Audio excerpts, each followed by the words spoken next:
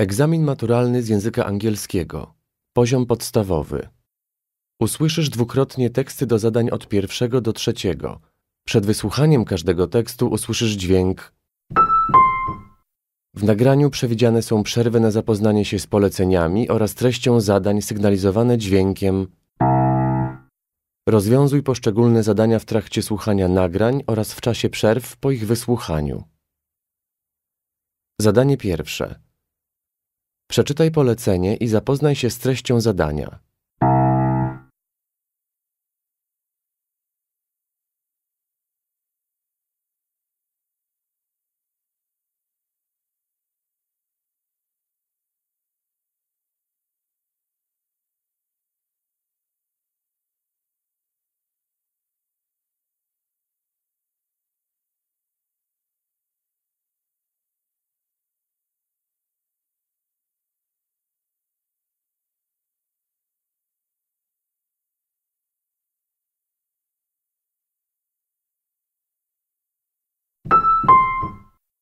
Jonathan, two years ago you stopped taking luggage on your travels. Why?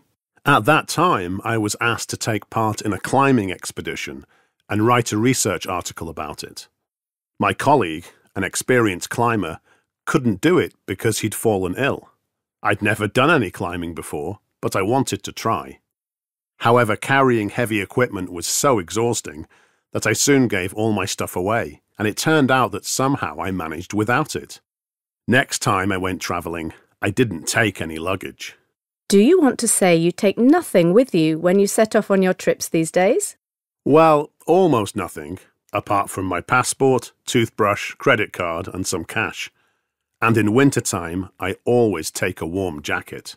But don't you need a jacket in other seasons? Of course I do. A jacket is absolutely necessary because it offers lots of pocket space, and the more pockets there are, the better. Sometimes I even ask local tailors, for example suit makers, to add some pockets to my clothes so that I can carry more things. And I've also heard about clothes libraries across the world which lend different items of clothing to travellers. I know. They are becoming popular. But to be honest, I'm not too keen on the idea. You never know where the clothes have come from, so I try not to use clothes libraries. I prefer to wear my own clothes, even if it means washing them over and over again. One more question. Have you ever been in an embarrassing situation because of what you were wearing? Sure, many times. Once I travelled across the countryside in Canada, and while walking across a field in very heavy rain, my shoes got very wet and dirty, and I had to leave them there. There was no time to buy a new pair of shoes, so I showed up at a local airport not wearing any. You can imagine the looks I got when I checked in. Quite a story. Thanks, Jonathan.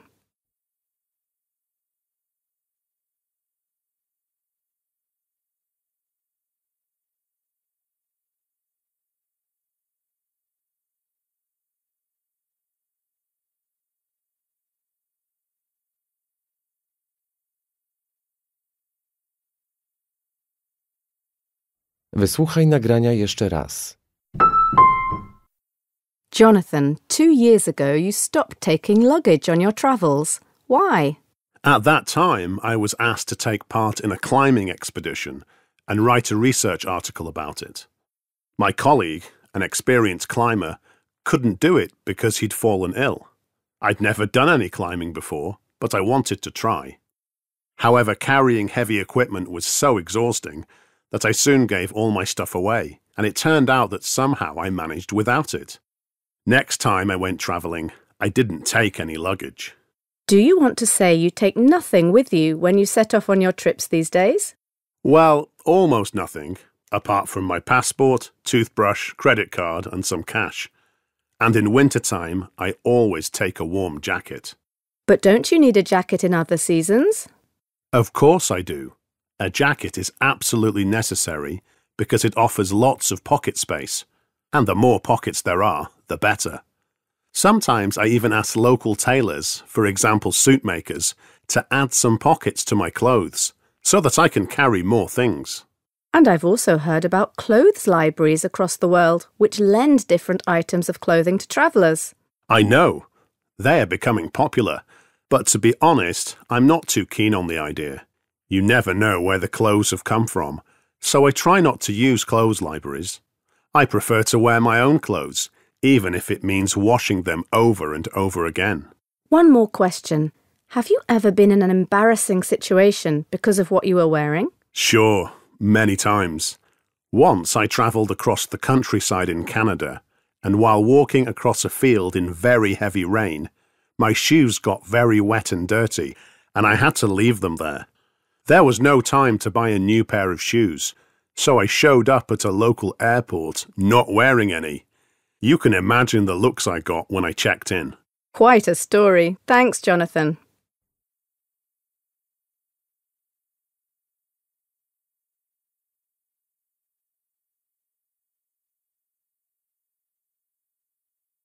Zadanie drugie. Przeczytaj polecenie i zapoznaj się z treścią zadania.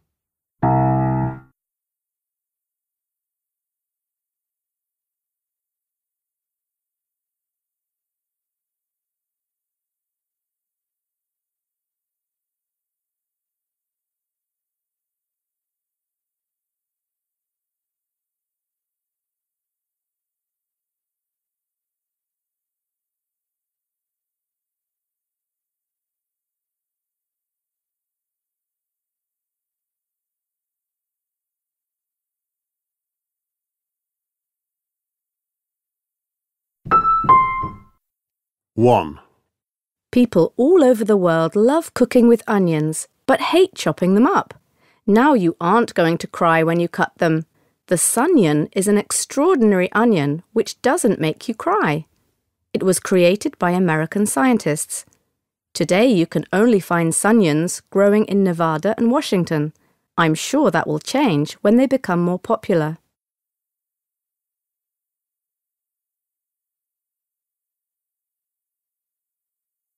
2. You see, I wanted to make some tomato and onion soup. I followed the instructions, chopped the veggies into small pieces, and put them into the multi-cooker. In the middle of cooking, it suddenly switched off. The veggies were still raw. I turned it on again. Twenty minutes later, all the lights at the top started flashing, and when I opened the multi-cooker, everything was burnt and stuck to the bottom. What a disaster!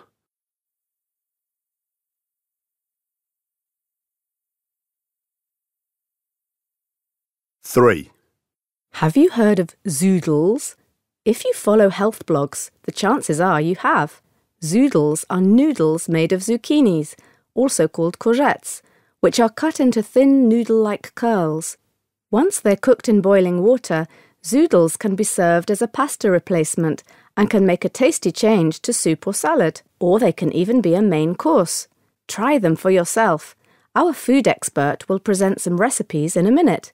You can make them yourself and see how delicious they are. Stay tuned.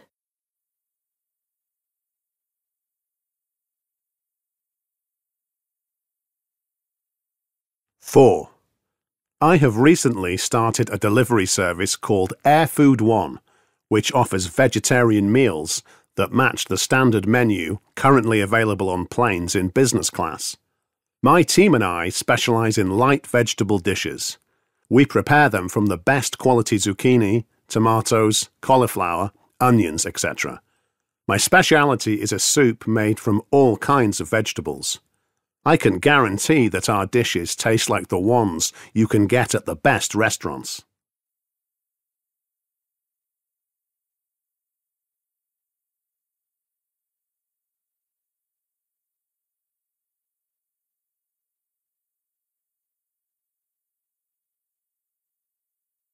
Wysłuchaj nagrania jeszcze raz.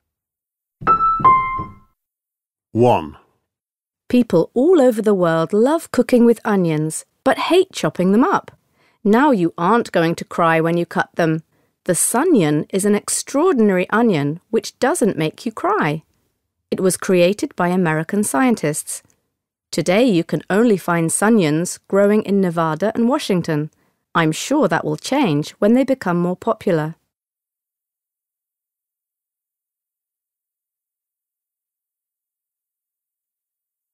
2. You see, I wanted to make some tomato and onion soup.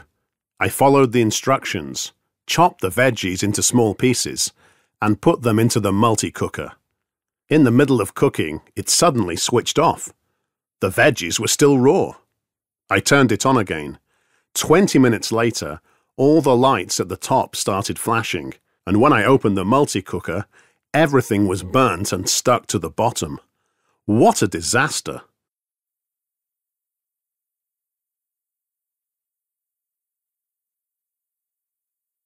Three. Have you heard of zoodles? If you follow health blogs, the chances are you have.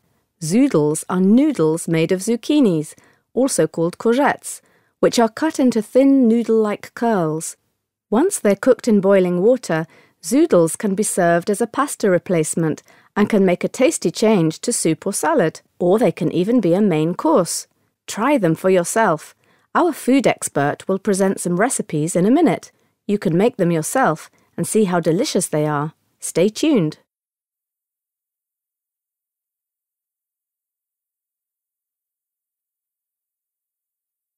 Four. I have recently started a delivery service called Air Food One, which offers vegetarian meals that match the standard menu currently available on planes in business class.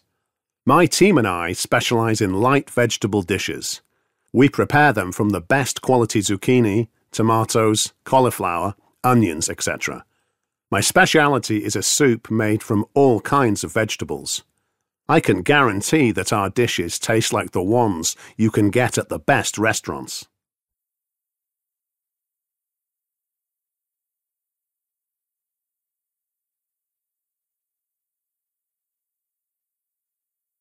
Zadanie trzecie. Przeczytaj polecenie i zapoznaj się z treścią zadania.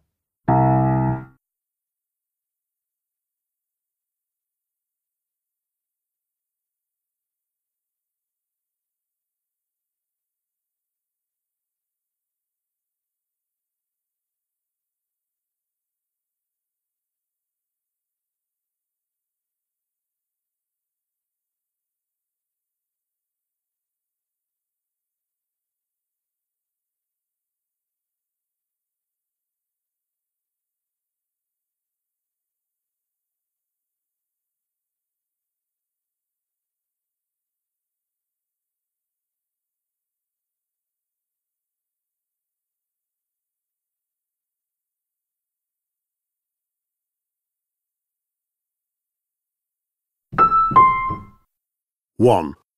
And one more announcement before we play more music. Just like last year, the City Council is inviting listeners aged 15 to 19 to take part in our annual competition. This year, participants should write an essay which begins with the words, If I were the mayor of my town. The authors should share their ideas on how to improve life in their community in an essay of no longer than 1,000 words. The deadline is November the 30th. The winner, selected by social media users, will receive $500 and will get the opportunity to interview a local politician.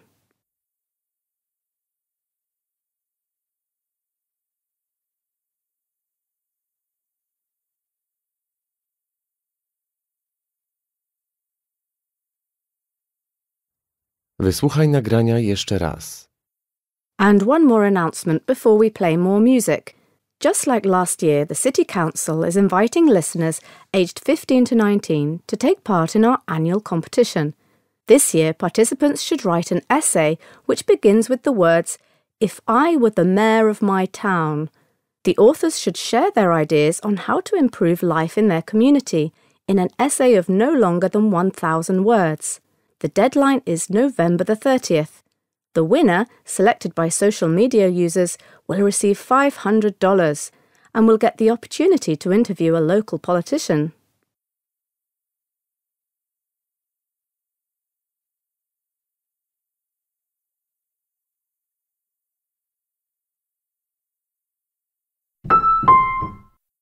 Two. The police officers on patrol in front of the famous Trevi Fountain in Rome often have to react when tourists try to get into the fountain pool. Last week, a fight over a perfect place for a selfie required their intervention. A 19 year old Dutch girl and a 54 year old Spanish lady wanted to take selfies in the same place and at the same time. First, there was an exchange of words. Then the women started fighting in front of a crowd of tourists. Luckily, two police officers managed to calm everybody down.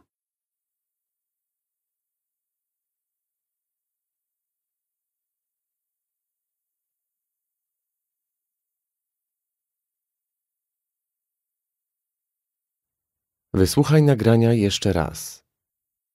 The police officers on patrol in front of the famous Trevi Fountain in Rome often have to react when tourists try to get into the fountain pool. Last week, a fight over a perfect place for a selfie required their intervention. A 19 year old Dutch girl and a 54 year old Spanish lady wanted to take selfies in the same place and at the same time. First, there was an exchange of words. Then the women started fighting in front of a crowd of tourists.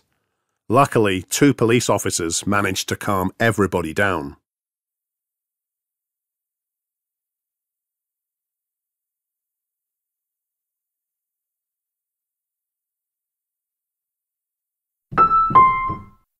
Three.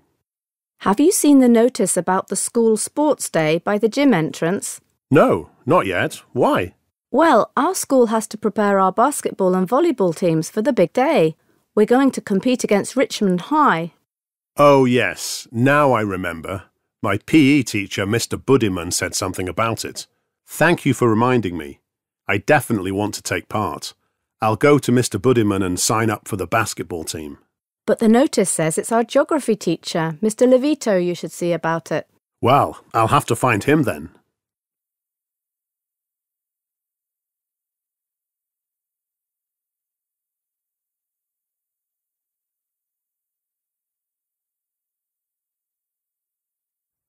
Wysłuchaj nagrania jeszcze raz. Have you seen the notice about the school sports day by the gym entrance? No, not yet. Why? Well, our school has to prepare our basketball and volleyball teams for the big day. We're going to compete against Richmond High. Oh, yes. Now I remember. My PE teacher, Mr. Buddiman, said something about it. Thank you for reminding me. I definitely want to take part. I'll go to Mr. Buddiman and sign up for the basketball team. But the notice says it's our geography teacher, Mr. Levito, you should see about it. Well, I'll have to find him then.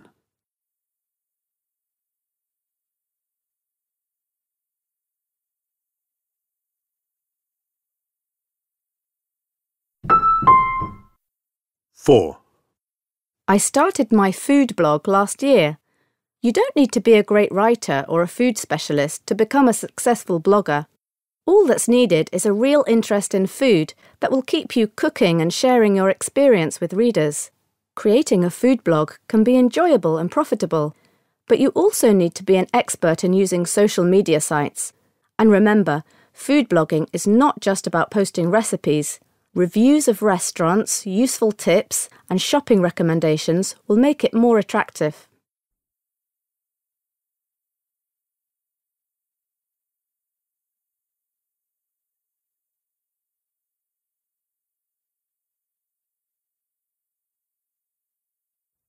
Wysłuchaj nagrania jeszcze raz. I started my food blog last year. You don't need to be a great writer or a food specialist to become a successful blogger. All that's needed is a real interest in food that will keep you cooking and sharing your experience with readers. Creating a food blog can be enjoyable and profitable, but you also need to be an expert in using social media sites. And remember, food blogging is not just about posting recipes. Reviews of restaurants, useful tips, and shopping recommendations will make it more attractive.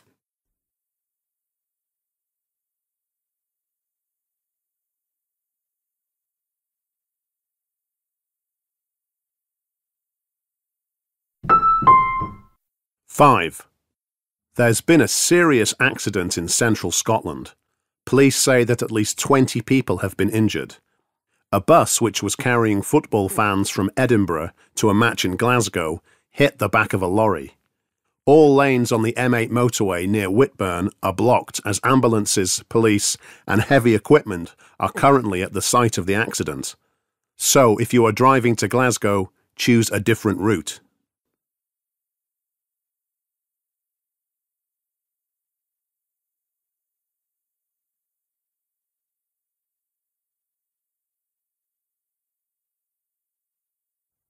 Wysłuchaj nagrania jeszcze raz. There's been a serious accident in central Scotland. Police say that at least 20 people have been injured. A bus which was carrying football fans from Edinburgh to a match in Glasgow hit the back of a lorry. All lanes on the M8 motorway near Whitburn are blocked as ambulances, police, and heavy equipment are currently at the site of the accident. So, if you are driving to Glasgow, choose a different route.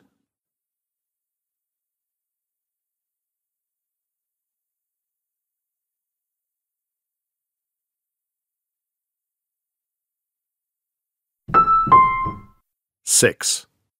A baby kangaroo was stolen from a Wisconsin zoo yesterday. The police are looking for the thieves who broke into the kangaroo house, but they haven't made any arrests yet. The zoo has some security cameras, but they were taken for repairs a few days before. Chief Inspector Bloggs said, This case is very difficult as we don't have any recordings of the incident. We're searching the area and we need people's help. If you have any information, please contact the nearest police station.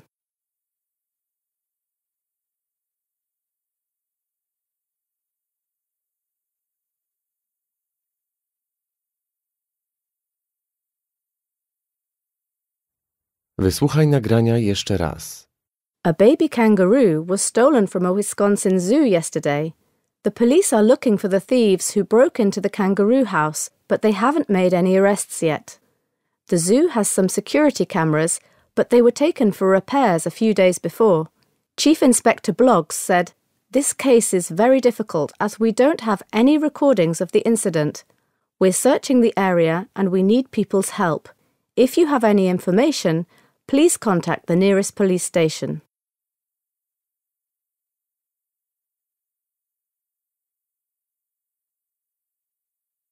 Czas przeznaczony na tę część egzaminu minął.